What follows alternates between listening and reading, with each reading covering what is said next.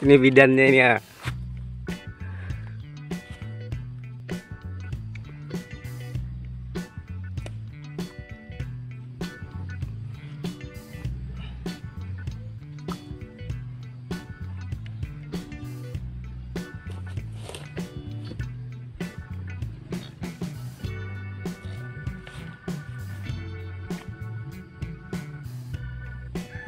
Two years later.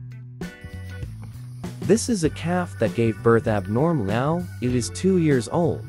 A lucky cow, healthy and big healthy cow.